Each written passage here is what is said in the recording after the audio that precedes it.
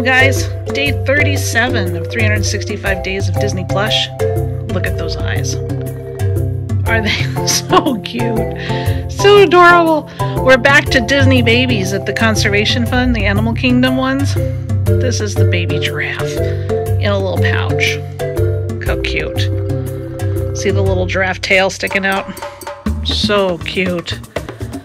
So neat. And again, I'm pretty sure part of the proceeds go to the Disney Conservation Fund, which is awesome. Cool. Save the animals, save the planet. So cute. So here we are, day 37 of 365 Days of Disney Plush.